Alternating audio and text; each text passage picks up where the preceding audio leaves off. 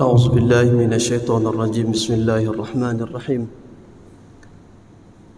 السلام عليكم ورحمة الله تعالى وبركاته الحمد لله نحمده ونستعينه ونؤمن به ونتوكل عليه ونعوذ بالله من شرور أنفسنا ومن سيئات أعمالنا من يهده الله فلا مضل له ومن يضلله فلا هادي له أشهد أن لا إله إلا الله وحده لا شريك له وأشهد أن سيدنا ونبينا محمدا عبده ورسوله لا نبي بعده قال الله سبحانه وتعالى في القرآن الكريم نعوذ بالله من الشيطان الرجيم قل إن كنتم تحبون الله فاتبعوني يحببكم الله ويغفر لكم ذنوبكم والله غفور رحيم صدق الله العظيم وقال النبي صلى الله عليه وسلم كل أمتي يدخلون الجنة إلا من أبى قيل ومن يأبى يا رسول الله قال من أطعني دخل الجنة ومن أصاني فقد أبى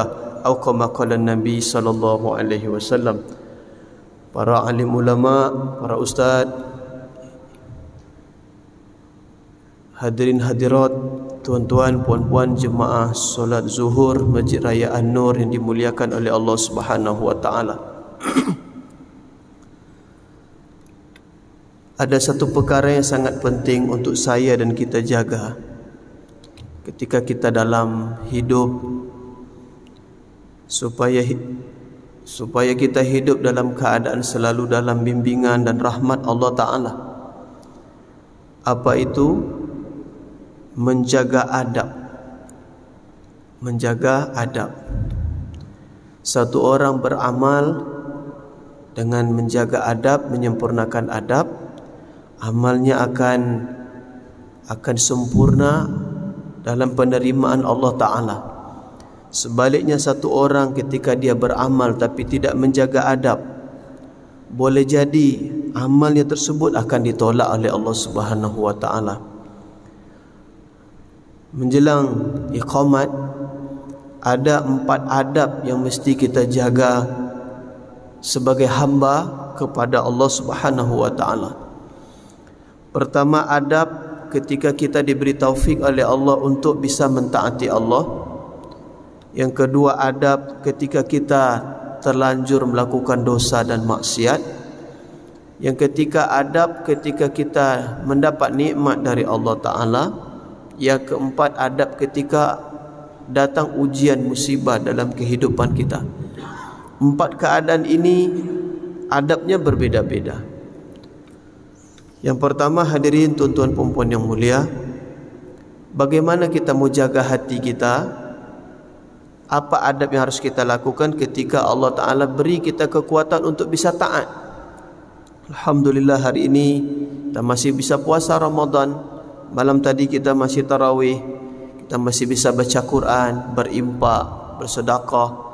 Kemudian kita ajak mengajak kepada kebaikan mencegah kemungkaran kemudian kita bantu anak yatim orang miskin kita berbagi makanan untuk buka puasa. Ini semua amal soleh ketaatan bukti ketaatan kita kepada Allah.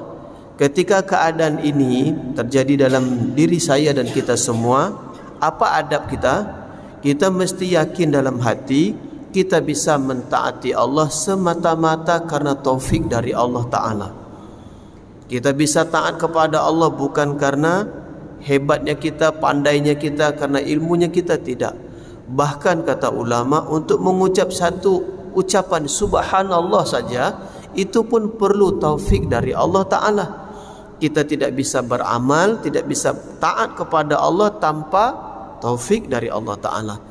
Jangan sampai kita merasa ujub dengan amal. Kita merasa saya saya ilmu saya banyak saya bisa taat. Ini karena kemampuan saya karena kepandaian saya karena kebolehan saya. Tidak. Kita bisa mentaati Allah kita bisa buat amal semata-mata karena kasih sayang Allah karena taufik, hidayah, petunjuk, ihsan Allah Ta'ala. Hadirin tuan-tuan yang mulia, yang kedua, bagaimana pula adab kita kepada Allah ketika kita terlanjur melakukan dosa dan maksiat? Ulama memberitahu, kalaulah kita terlanjur melakukan dosa khilaf maksiat maka adabnya adalah kita banyak-banyak istighfar dan segera bertaubat kepada Allah. Setiap kita punya masa lalu, saya punya masa lalu, kita semua, Ustaz Ridho, Pak Haji Sebastian, Pak Imam, kita semua punya masa lalu. Masa lalu kita ada yang baik yang kita buat, mungkin ada juga yang buruk. Kita khilaf, kita salah. Dulu waktu SMA kita makan ke kantin, kita ambil bakwan tiga, kita bayar satu, kerana kita anggap orang kantin tidak tahu. Kita pergi ke kampung, main-main di kampung, buah rambutan masak, kita tidak izin dengan tuannya buahnya kita ambil banyak kesalahan-kesalahan sengaja tak sengaja ketika sendiri ketika dalam kamar sendiri ketika dalam keadaan ramai kita buat dosa. Bapak-bapak di ASN polisi tentara dosen. Dosen mengajar harusnya 3 2 SKS itu 90 minit tapi kadang tak cukup waktu. Masuk ngajar lambat. Uh, kemudian selesainya cepat. Banyak kesilapan kekhilapan dosa maksiat kita buat. Apa adab yang harus kita lakukan sebagai hamba? Kita segera bertaubat kepada Allah minta ampun kepada Allah mengaku salah kepada Allah. Janji takkan buat lagi kesalahan yang sama dosa yang sama pada masa yang akan datang. Banyak istighfar. Banyak istighfar. Minta ampun kepada Allah akui kesalahan dan berjanji untuk tidak ulang lagi. Kalau buat salah lagi, istighfar lagi, taubat lagi, terus berulang-ulang. Hadirin tuan-tuan yang mulia, tidak ada di antara kita ini yang tidak ada dosa dan salah. Kita semua pernah buat dosa, pernah buat salah. Yang maksum hanya para nabi dan para rasul. Adab yang ketiga yang mesti kita jaga apa?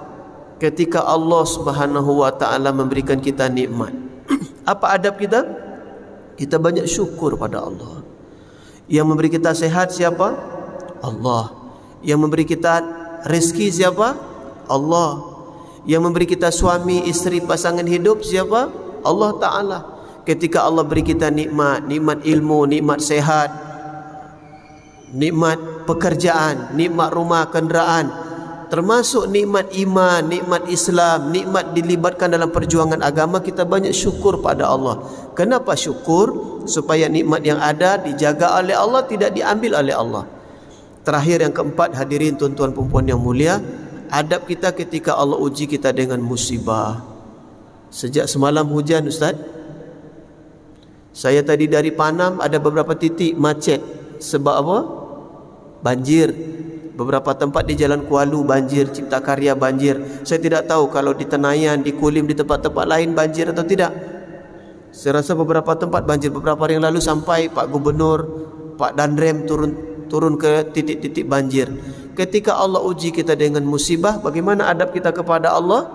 Kita banyak sabar. Sebab apa yang sudah terjadi, yang sedang terjadi, yang akan terjadi semua terjadi dengan kehendak Allah. Masya Allahu kana wa malam yasha lam yakun. Apa yang Allah Allah Taala kehendaki terjadi pasti terjadi dan apa yang Allah kehendaki tidak terjadi pasti tidak terjadi. Yang menurunkan hujan Allah. Tak ada satu kekuatan dunia hari ini bisa menahan hujan.